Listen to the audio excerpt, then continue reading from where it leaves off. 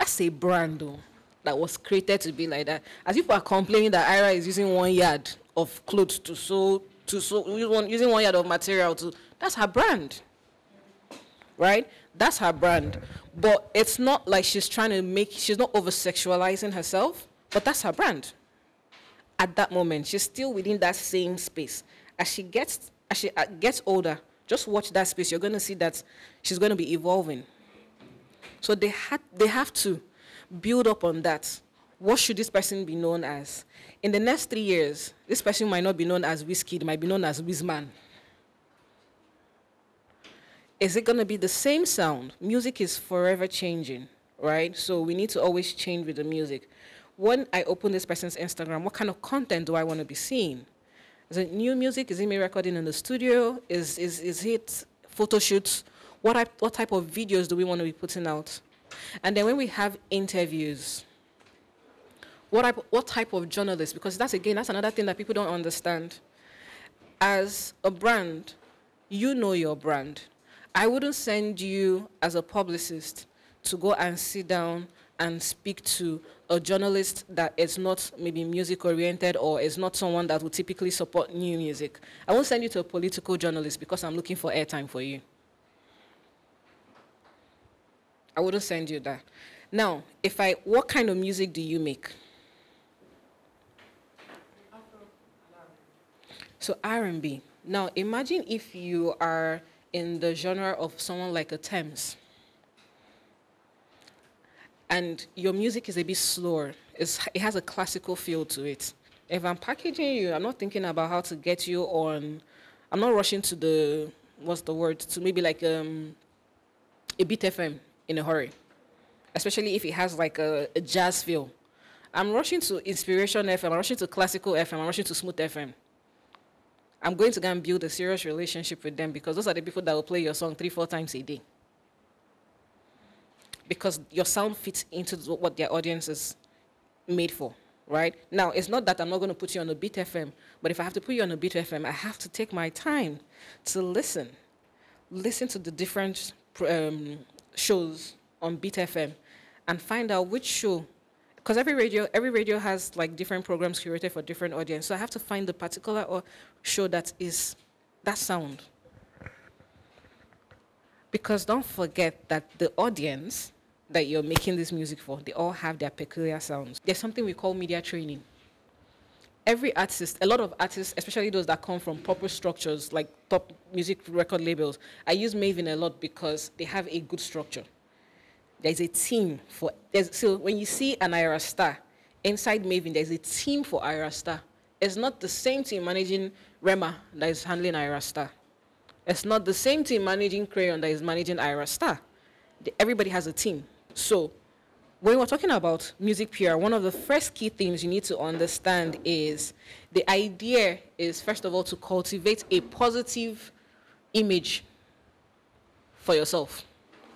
You know that thing that we always say on social media, social media, uh, social media never forgets. They'll go and pull up your tweet from five years ago. If you have a, if you have a nasty tweet, go and delete it though. Because the internet never forgets. How many of you, how many of, how many of you have been in a recording camp before? What happened during the recording camp? Sorry? So imagine when your career progresses. It's like back to back recording. And then somebody, an unknown face, will come and start typing English or something, insulting you on social media. How do you feel? So, you have to also not be in that in those shoes because again, like I said, the internet never forgets. So one of the first steps you need to start, you need to make in terms of working towards your PR is start cleaning up your images, start cleaning up your brand. So when you, if you have posts. There are posts that you can come back to five years down the line and laugh about. Maybe something where you were, you know, when we were, you know, those days when we were young, used to write. We don't, we don't write full English. It's like our like is like L Y K, and I'm thinking to myself like, now wow. So I, I wrote like this. Those things, those ones are fine because I mean there's growth. But when you are insulting somebody's father that might come next in the next three years and is running a show, uh, might be the one that'll change your life. So clean your images. That's the first thing you need to do, clean your images. Number two is how do you how do you want to be perceived? How do you want to see yourself? Do you want to see yourself as the youngest female producer right now? Give yourself a tagline sometimes. That tagline helps you because what that tagline does is that it makes you can be intentional towards working, your, working towards yourself. So when I started this year, I started this year as the key word I used for myself was being intentional about every single thing that I do. So most of the things that I've done this year, I didn't do it blindly. I was very intentional about the things that I did. Start building that, right? So what's your tagline? What do you want to be known as?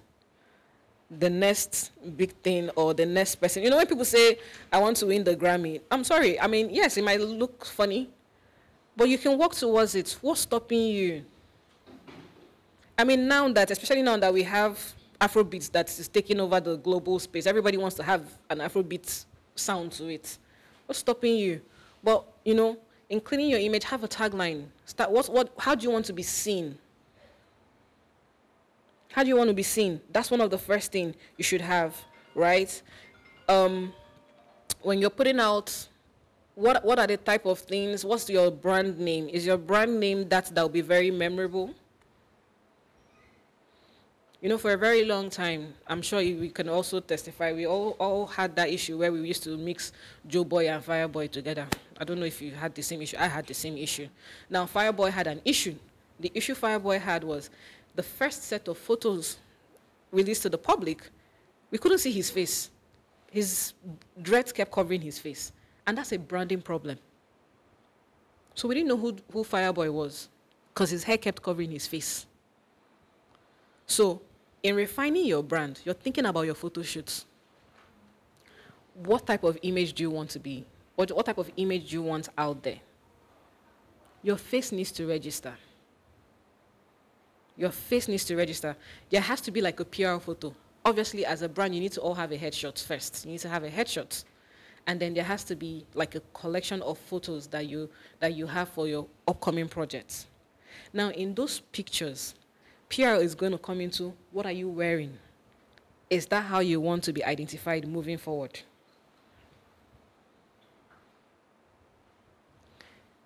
Your brand signature. What's your brand name? Do you have a unique way of writing your name? Have you seen that Tems has a way of writing her name? Tiwa has a way of writing her name. How do you want to write your name? Rama has a way of writing his name.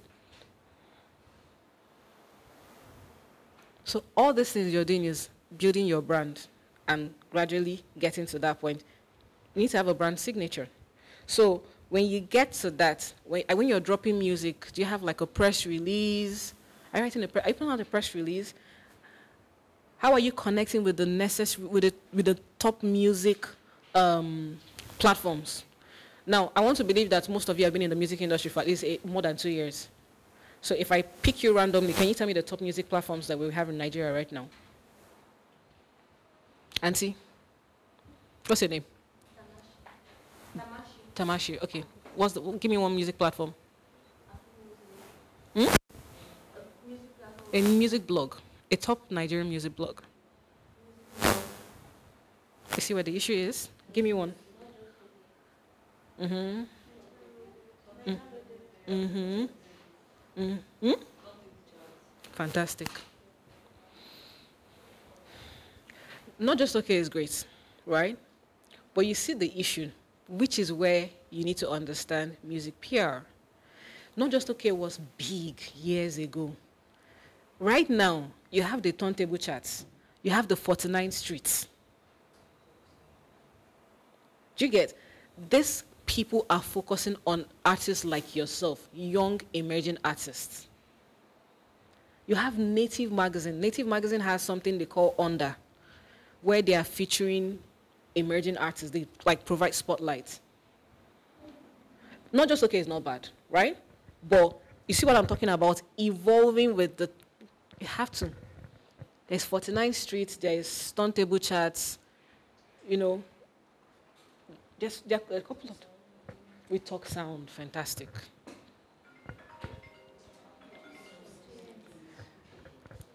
That's it's your job to know. Because when you can't afford, remember what the Namibian artist said yesterday. If you cannot afford to have the right people on your team, it's your job to know everything. If you guys are book readers, I would advise you to. Um, there's this um, 50 Cent's book. I don't know if you've heard of it. Get Rich or Die. Is it Get Rich? Uh, read that book.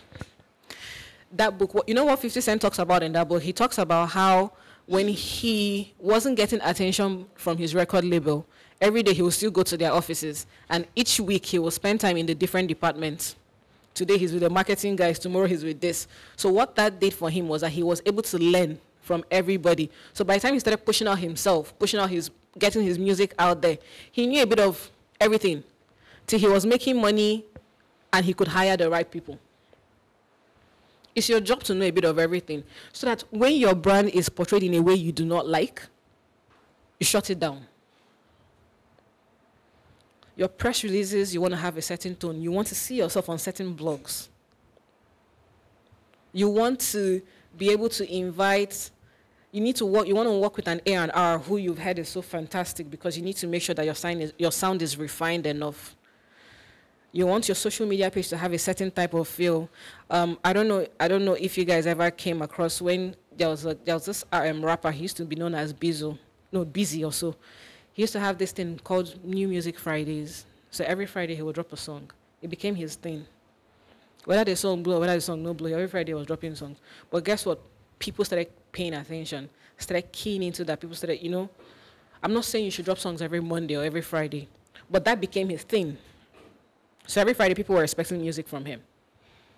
And the fact that he would take his time, work with a graphics artist, have the best cover art, was to tell you that there was work going on behind the scenes.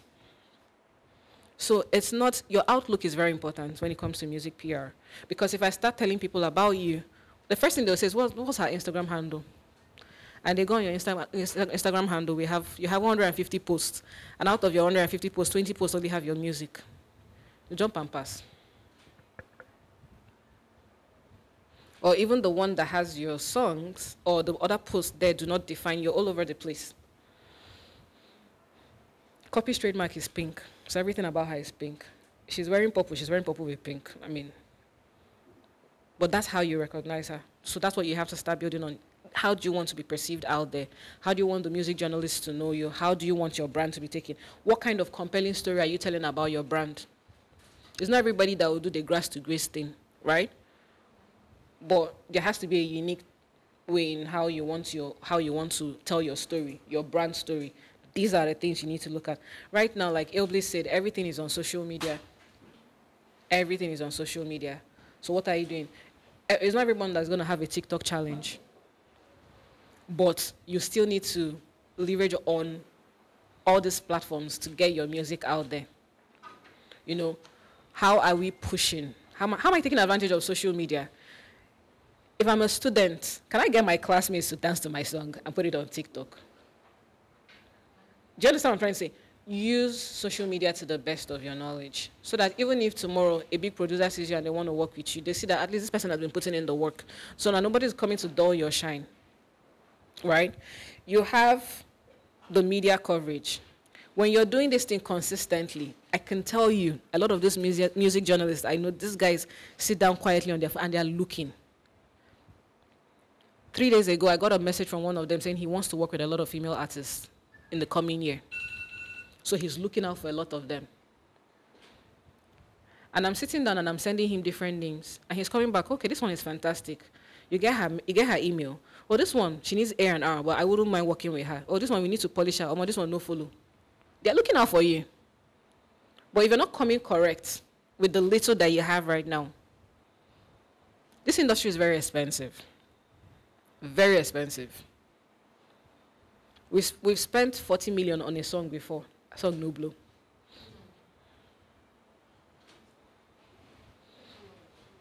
That's the irony of the industry. But what, what keeps you is consistency. Consistency and remaining in your brand. Just that same thing you're doing. Keep at it. But remain in that brand. If you need to rebrand, why are you rebranding? Let it be clear. Why you're rebranding. So that when people are tracing your story that's why we have that's digital footprint is key. When people are tracing your story they're like oh she used to be known as this but the reason why she changed is because you know i think this industry or that's this one favored her more.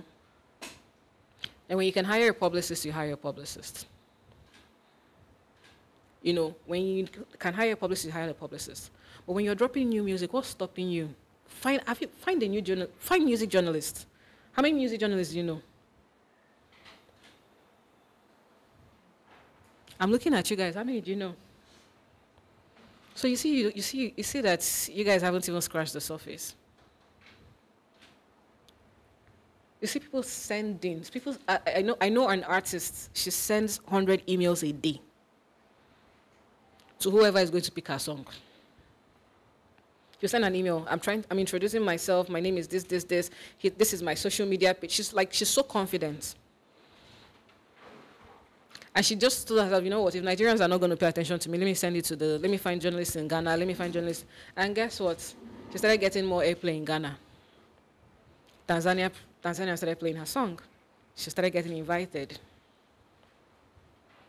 But she did the work. She didn't have the money. She couldn't afford anybody. All she did was send me a message. Oh, Ada, please, can you guide me on how to send this email and what to do? How do I package it in such a way that I'm not looked down on. I said, well, tidy your social media because when you send that email, they're going back to your social media to go and look for you. What do you, know, what do you usually tweet? Are you one of those people that you're steady on social media looking for who to throw or begging for money? These guys will slam you. Tidy your social media. What type of images are you putting out on your social media page? Give us short clips of this song. Tell us a story. You guys are recording in the studio. How many of you are taking pictures and videos? So how do people know what you're doing? How do people know that you're, you're taking your career serious? When you've not shown them the, so when the song is out, well, how do you tell your story? That they came to you in your house and they recorded. You tell a story. Let people see the journey. Let them know that, oh, you actually came out for this. I mean, you, you could have been doing other things now, but you're here. Let them tell that story let your, let, your, let your page tell your story of your journey as an artist. How you started. You've seen the likes of them, Don Jazzy. You see how Don Jazzy is always telling you how he's discovering his people on social media. Not because they were always in his DM, but even if they were in the DM, he still went to their page and he was looking and like, okay, this person has been consistent.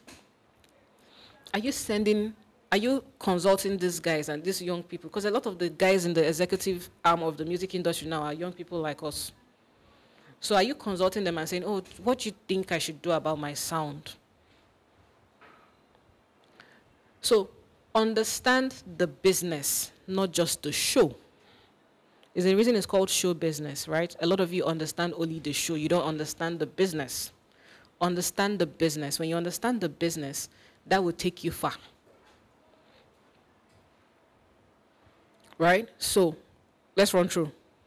Tidying your image, having a compelling story. How do you want to be perceived? What's your brand name? What type of language? So your, how do you want to be perceived includes a lot of things, right? So from your language, from your mute to your music style, to the your general outlook as a person. What else? What kind of Yeah, timeline, right? Hmm? Your tagline. So even then with your music, how often are you dropping? Consistency is key, right? So you might not always have money to drop music, but just keep dropping, just keep dropping. One day, it's gonna it's gonna hit. Don't drop one now and then next year you're dropping. So every year, drop no. So even if it's like every three months, drop a song. Drop a song. Read. Best way to grow in this industry is read. Consist, just constantly read. Why am I saying you should read? Read up on um, the best ways you want your music. So for instance, at TuneCore, we have different packages for different artists. Some packages come with social media, some do not come with social media. Now, some people will say they don't want the social media, but then some people say they want the social media. What can the social media do? How, how else can I do? Because the mistake people make is that when you put your song on streaming platforms, you think that the streaming platform is supposed to do your PR for you, and you have relaxed. It doesn't work now. How many people am I introducing to my music every day? 30 December is coming. if we have songs here, how many shows am I trying to get on to even be an opening act? And then if I'm trying to get on these shows and I'm telling them, look at me now, look at my page, or look at my music, and, my, and, and, and it's not tidy, then what happens? If you can't communicate, if you can't speak your language, are there people in the industry that you have access to that you can tell them, please, I know that I don't, I might not be able to pay you, but can you please give me some time and help me tidy this? It's not everybody that likes money. Oh. I mean, we all like money. Nigeria is hard, but we're not living for the money. There are people that will genuinely help you once they see that you're striving to, to, to push. Right? So even when down to the music, when your music is out, before your music is even out, are you pitching? Are you pitching to have it on new releases, on playlisting? Playlisting is key because, again, because of the way the Nigerian music structure is, there are certain things that you might not be able to um, manage in terms of how far your music. Someone mentioned Naija Loaded. Naija Loaded is a culprit in a lot of things. People are dropping songs and they are just uploading somebody's song. How do you want to make money from your, for, from your streaming? If somebody can easily go on Naija Loaded and just download your song like that. Right? So these are things that, and then because I'm, as, when, I'm, when I'm saying read, read because a bit, again, PR is a mixture of law, psychology, is a, lot, is a mixture of a lot of things. So at every point, you need to understand why, if your audience are changing, and why they are changing. Are they moving to different, or they prefer they prefer different sound? Social media. Um, Stephanie yesterday was talking about digital marketing. It's something that is very critical. I'm not sure. I don't know whether she mentioned it, but even with your social media pages, you need to check your analytics. When do you have the most? When you post a picture, when do you have the most likes? When do you have the most audience? Check your analytics. You see it is there can I hold my own ground? If I can, can I hold my own down? If I can't hold my own down, please let's suspend anything media interview for now, till I'm sure I'm confident enough not to fool myself. That's why you see that media training. People are everybody's applauding Rema. Rema has been trained to know the right things to say, the right way to present himself. That's media training. They've probably invited three or four media personalities to the Mavin headquarters and they've asked them to do mock interviews for them to be able to practice. So they know how to deal with the hard questions and how to deal with it. That's why they don't have scandals. Those guys will train you from artist development. Thank you for even reminding me. I think one of the best things you can do even as an artist, especially a newbie, is to build a, a, a database, build a contact list take advantage of that and, and, and, and build like and, and start having a newsletter one of the best ways that Adekunle Gold built his fan base was through his newsletters. He would write these newsletters in as if he's talking to you.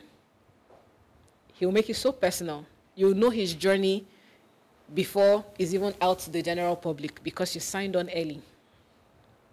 So it's, it's, it's fantastic. Now, when you want to send out new music, right, there are certain journalists that you have to personalize it. Like I said, people send 100 emails a day. We journalists send to them personalized. Don't send them the generic ones. Personalize and send to them. But when you want to keep your people involved or you want to keep them abreast of what is happening in your life, yes, the, the uh, of what's happening in your career. Like for instance, you guys have done. You've, you've your, your the weekend is ending what tomorrow morning. If you had a newsletter, you tell people what you were up to this weekend. From the moment oh that you you you, you were selected for HER Sound 2023 you arrived at so and so time, it was a privilege to meet other female creatives. You didn't know that there was this much female creatives. You took pictures with these people. You met a producer that you're looking forward to working with her, in with, for your next song. You recorded this. You, you spoke to top music. Connect. When you make it your thing, I'll be telling my friends about you my friends will be signing up. They're not waiting for me to start sending them screen grab. So newsletters are a thing, a very big thing. If you can't write very well, please, ChatGPT is there to your rescue. That's why we. That's why technology is evolving. Take advantage of these things. If you're not even sure what ChatGPT is sending, like I said, start connecting. Start connecting with people. I'm sure you know, as time goes, Cheche can also drop some templates for, for, for you guys to use in these things that you can start tapping into, right? There's a template for everything. There's always a template for everything. And then again, Google is your friend. We're not moving around with smartphones as fashion accessories. There's so much you can find on the internet. Um, I hope that answers your question.